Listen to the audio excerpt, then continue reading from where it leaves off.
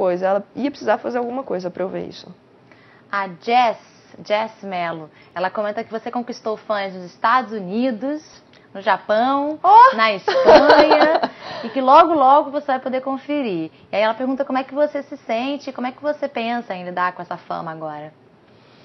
Jess Mello, eu me sinto muito vitoriosa por ter conseguido essa vaga no BBB. Eu me sinto muito vitoriosa por ter ficado todas essas semanas.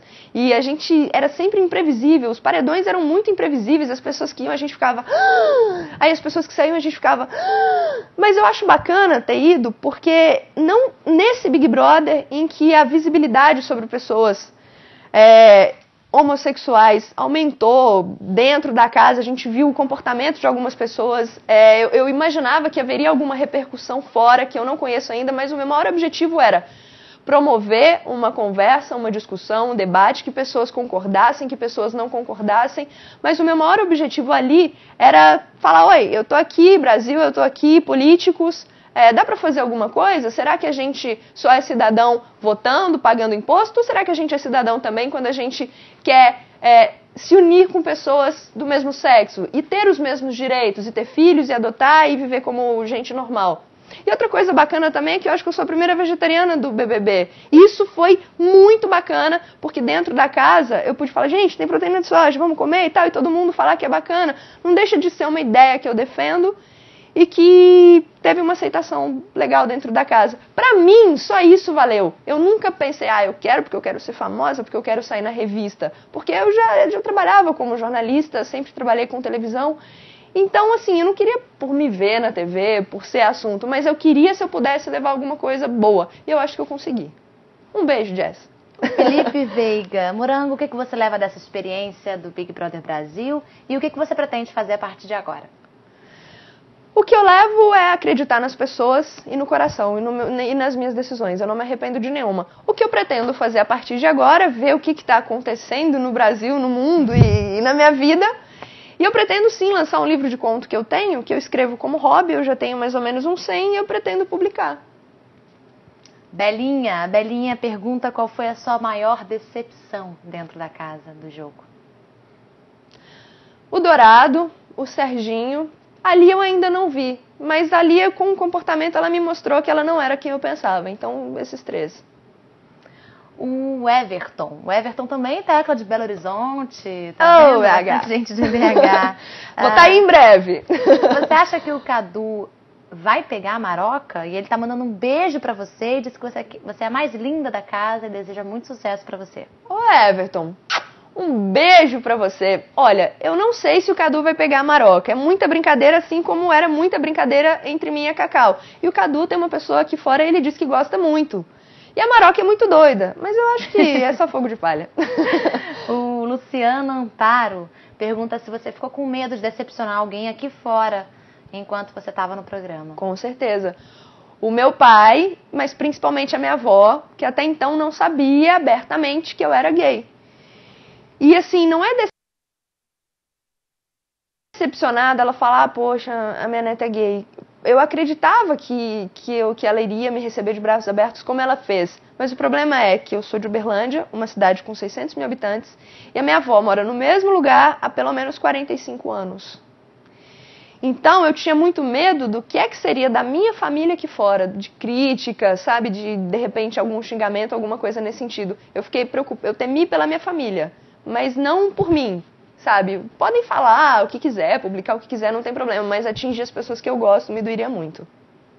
A Lume11 pergunta se você posaria para Playboy. Com certeza. Eu já fiz alguns ensaios sensuais, assim. Nunca nua, mas faria. O Luciano. Você compraria, Lume? Manda a sua resposta pra gente. Tá? Manda a sua resposta, Lume. o Luciano é, pergunta se você acredita que ter levado amigos para o quarto branco pode ter sido uma das explicações por você ter sido eliminada hoje? Boa pergunta, eu não sei responder. De verdade, não sei se foi isso. A Carolzinha, bom. Mas mais pra frente, de repente, vai dar pra descobrir, né? Oh, com certeza. a Carolzinha... Perguntar pras pessoas. As pessoas estão comentando, a gente usa muito essa frase lá dentro. As pessoas estão comentando, eu vou me inteirar sobre isso. a Carolzinha quer saber qual foi o seu maior desafio dentro da casa Ficar sem sexo. Carolzinha. Não é? Mas sobreviveu, né? Oh, tamo aqui. Estamos caminhando aqui para as nossas últimas perguntas do bate-papo. A Drica, tecla de Porto Alegre. Olha só. Por que você acha que esse paredão bateu todos os recordes? Drica, não faço a menor ideia. Boa pergunta. Também vou me inteirar sobre isso. Por que, que você acha? Mande a sua resposta. Olha, teremos mais bate-papos com a Angélica ao longo do mês. E aí todas essas perguntas terão respostas, tá que ok? bom.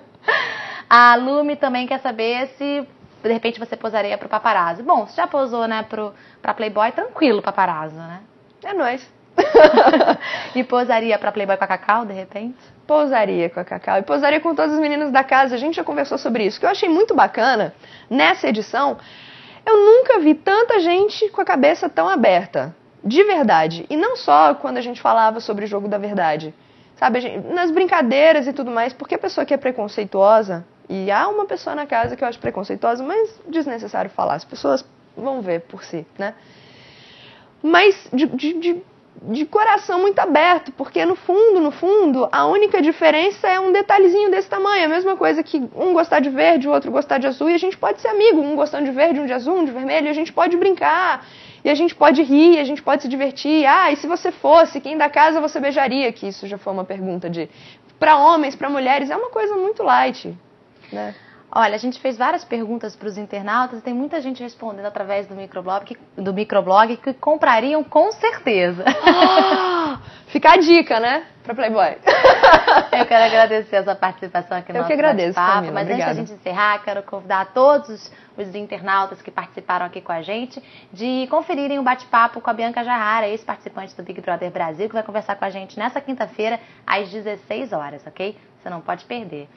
Mais uma vez, obrigada. O espaço está super seu para você se despedir dos internautas. Bom, eu agradeço muito a todas as pessoas que ficaram acompanhando, que torceram, que votaram nos dois paredões para que eu ficasse, ou as mesmas que não votaram, as que participaram para conhecer um pouco mais sobre mim. Eu acho muito bacana esse interesse pelas pessoas. Vamos nos interessar todos uns pelos outros e abrir o coração.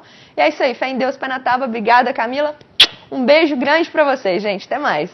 Obrigada, pessoal. A gente fica por aqui. Até a próxima. Tchau.